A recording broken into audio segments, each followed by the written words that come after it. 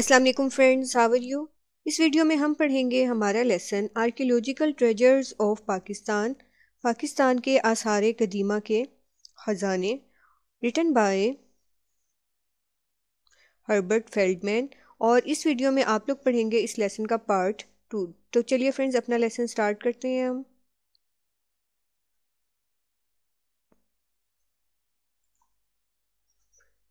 At present मौजूदा दौर में a serious difficulty stand in the way of interpretation of all these important discoveries namely the problem of unlocking the pictographic script found at Mohenjodaro मौजूदा दौर में इन अहम दरियाफ़तों की explanation में, वजाहत में जो शदीद मुश्किल दरपेश है, वो ये है कि जो पिक्टोग्राफी यानी कि तस्वीरी तहरीरें जो मिली हैं, उनकी वजाहत का मसला है। जो मोइंजो दौड़ों से मिली हैं। When this by no means simple puzzle is ultimately resolved और जब इस मुश्किल आ, मसले का हल दरियाफ्त कर लिया गया the result may well lead to great changes in historical and archaeological theories तो क्या होगा जब इसका रिज़ल्ट पता लग जाएगा? तो तारीख़ी और कदीम आसार के नज़रियात में बड़ी तब्दीलियों के बाइस बनेंगे।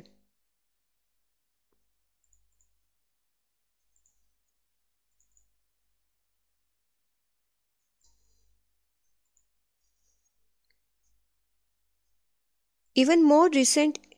and of great interest to Pakistan is the work done at Bhanbur, a site on one of the sifted channels of the Indus about 40 miles from Karachi. अब वो कह रहे हैं कि भनभूर में भी जो हालिया काम चल रहा है वो पाकिस्तान के लिए ज़्यादा दिलचस्पी का हामिल है जो से जो कि कराची से तकरीबन 40 किलोमीटर दूर दरियाई सिंध का एक अलग इलाका है and very easy of access to Karachi dwellers और जो कराची के बाशिंदे हैं वहाँ के रिहायशी हैं उनके लिए बहुत ज़्यादा काबिल रसाई भी है।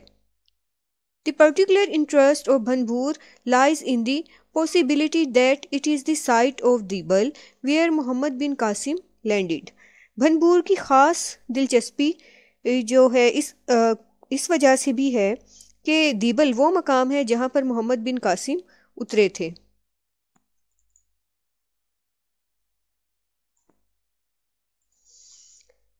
The question of the actual whereabouts of this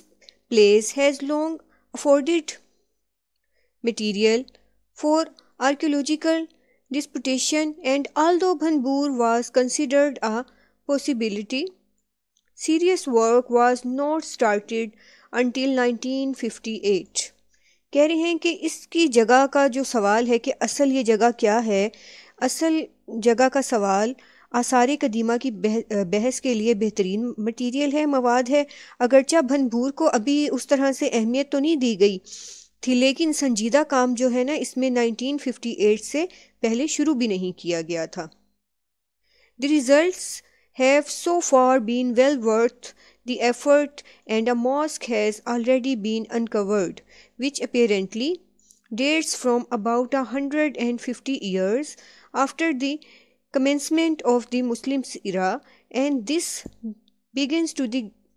begin to get close to the time of Muhammad bin Qasim himself. अब वो कह रहे हैं कि उसका नतीजा जो वहाँ काम शुरू किया है उसके नतज काफ़ी हद तक अच्छे निकले हैं और एक मस्जिद पहले ही वहाँ दरियाफ्त कर ली गई है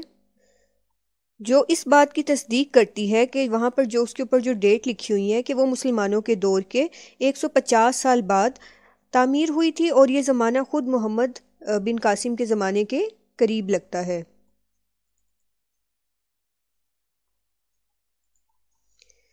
But it seems this site may well yield a good deal more than this and at the present stage, it is not possible to say how far the digging may extend.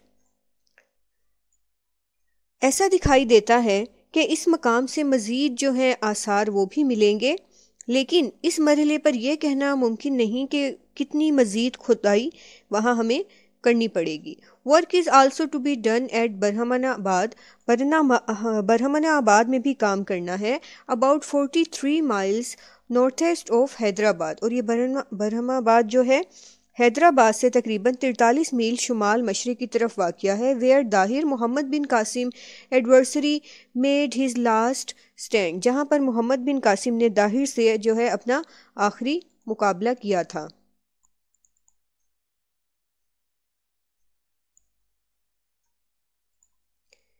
The ebb and flow of different influences, religious, intellectual, and military, have left their various marks on the antiquities of antiquities of Pakistan अब वो कह रहे हैं कि मजहबी एतबार से रूहानी एतबार से और अस्करी असरात के जो उतार चढ़ाव हैं पाकिस्तान के आसार कदीमा पर उन्होंने मुख्तलिफ़ जो है ना वो निशानियाँ छोड़ी हैं। ऑफ़ बुद्धिस्ट मेमोरियल जहाँ तक बुद्ध मत की यादगारों के बारे में फिर इनफ्स इनफ हैज़ बिन सेट उसके बारे में बहुत कुछ कहा जा चुका है although it deserves to be added that they are not confined to the north west अलबत् जहाँ तक इसके बारे में इस बात का इजाफा करना जायज़ है कि सिर्फ़ शुमाल मगरब तक ये महदूद नहीं रहा है but extend down to Sindh. लेकिन ये पूरे सिंध तक फैला हुआ है एंड एट मीरपुर ख़ास और मीरपुर ख़ास तक ईस्ट ऑफ़ हैदराबाद, जो कि हैदराबाद के मशरक में है। Buddhist seals of the seventh and eighth centuries A D have been discovered और वहाँ पर सातवीं और आठवीं सदी की जो बुद्ध मत की जो मोहरें हैं, वो दरियाफ्त कर ली गई हैं।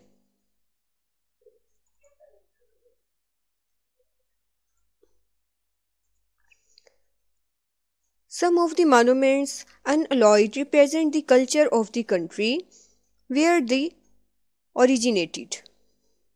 कुछ खालिश यादगारें उस मुल्क की सकाफत की भी तर्जुमानी करती हैं, जहाँ से वो उनका आगाज़ हुआ है the celebrated tiled mosque and tombs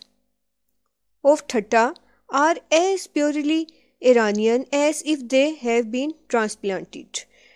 तो ठट्टा की टाइलों वाली जो मशहूर मसाजिद हैं और मकबरे हैं, वो बिल्कुल खालिस ईरानी इस तरह से लगते हैं जैसे वहाँ से यहाँ मुंतकिल कर दिए गए हैं। हाउ एवर ताहम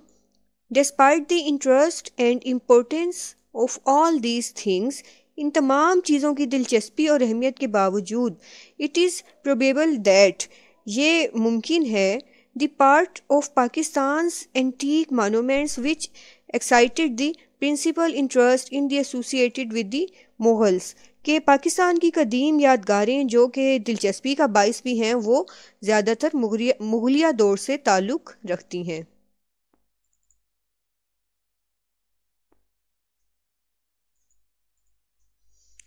This seems to be so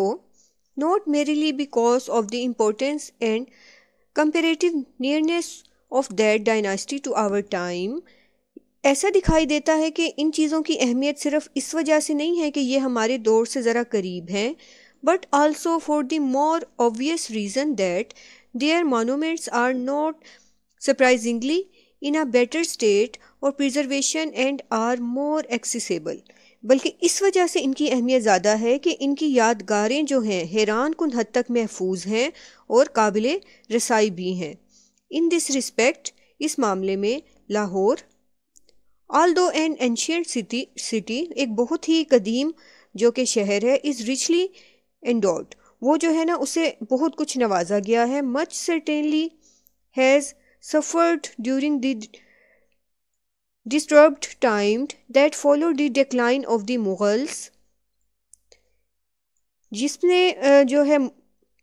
बेचैनी के दौर में जो बहुत मुतासर हुआ है, उस दौर में ख़ास तौर पर जब मुग़लों का जो है ना जवाल शुरू हुआ more particularly during the anarchic state of Punjab after the death of Ranjit Singh but there is still a great deal to reward the sightseer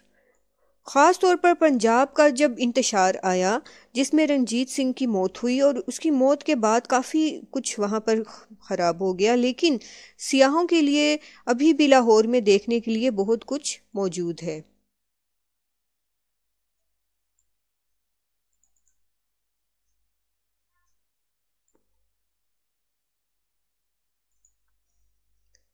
Here, particularly, will be noticed this style which grew out of the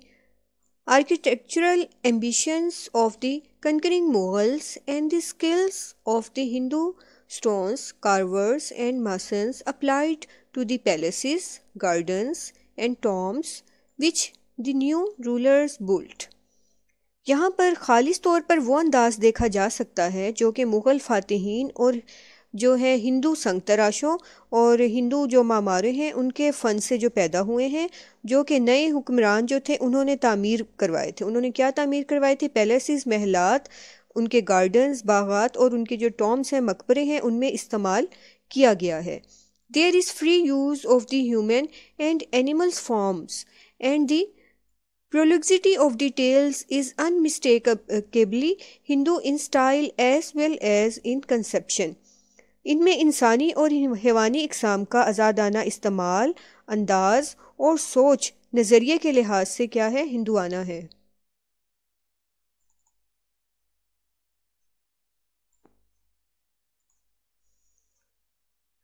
Most visitors to Lahore will wish to see the old city. Lahore के ज़्यादातर सियाह जो हैं, वो पुराने, पुराना शहर देखना चाहेंगे दी फोर्ट किला देखना चाहेंगे, दी बादशाही मॉस्क, बादशाही मस्जिद one of the important monuments of Aurangzeb time Aurangzeb के वक्तों की एक बहुत ही अहम यादगार and the houses of some of the great families which once flourished there और वो वाले घर देखना चाहेंगे, जो बड़े बड़े ख़ानदानों के घर थे, जो यहाँ कभी आबाद थे. Some of the old buildings have been put to uses very different forms very different different from those which were one intended. बहुत सी इमारतें ऐसी हैं, पुरानी इमारतें जो इस अंदाज से इस्तेमाल में लाई गई हैं कि उस अंदाज से बहुत मुख्तलिफ़ हैं जिसके लिए वो इमारतें बनाई गई थीं।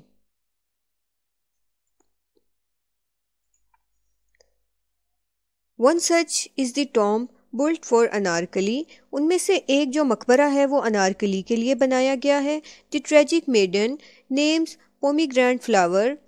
who had a love affair with prince Salim और एक बदनसीब नौकरानी जिसका नाम अनारकली था, जो कि शहजादा सलीम से प्यार करती थी। When he became emperor and adopted the name Jahangir जब शहजादा सलीम जो है वो बादशाह बना और उसका नाम जहांगीर पड़ा he built a tomb over her burial place तो उसने उसकी दफन वाली जगह पर एक मकबरा बना दिया with an inscription testifying to his love और वहाँ पर एक ऐसी तहरीर दर्ज थी जिससे उसकी मोहब्बत का अंदाज़ा होता था। लेटर बाद में in the declining days of the Mughals मुगलिया दौर के जवाल के दिनों में the building was used for residential purpose तो ये जो अमारत है, ये रिहायशी मकासद के लिए इस्तेमाल होने लगी। And was once occupied by Ventura और एक वेंचर नामी सिपाही द इटालियन सोल्जर जो कि अतालवी सिपाही था, उसका नाम वेंचर था, उसने यहाँ पर कब्जा कर लिया। Soldier of fortune who served as one of Ranjit Singh generals और ये जो है रंजीत सिंह के जर्नल की हैसियत से भी काम करता रहा। It is now use to keep archives in and is well worth a visit ये अमारत जो है, अब इसमें कदीम पुराने जो हैं दस्तावेज़ात रखे गए हैं और ये अमारत देखने के काबिल है। फ्रेंड्स यहाँ पर हमारे लेसन जो है वो कंप्लीट होता है।